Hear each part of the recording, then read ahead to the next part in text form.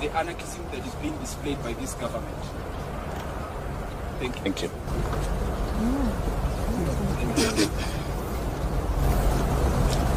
So hello everyone. Hi. Okay, my name is Julius Kimani. Uh, I think these uh, names pass all together as human beings. They should, because uh, I believe uh, at at stake here is our very lives, our very existence.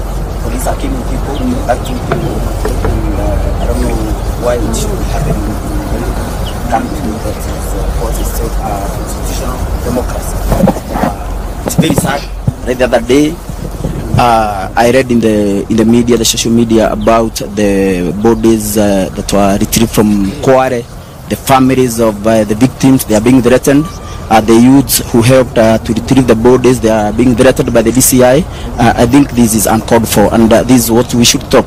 I don't know why people should lose lose their lives for someone to cling to power, for someone to refuse to get out of power. I think people have spoken. The people of Kenya, we we saw the protest.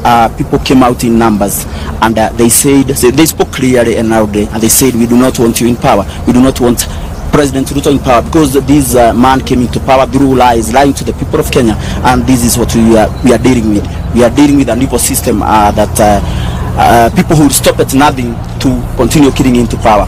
This is the problem problem that we must deal with uh, uh, squarely and uh, uh, uh, and know how to get out of this mess. Thank you so much for now. all know Kimani is a one-man army. Yes. Kamau, sorry. Endelea Kamau. Thank you.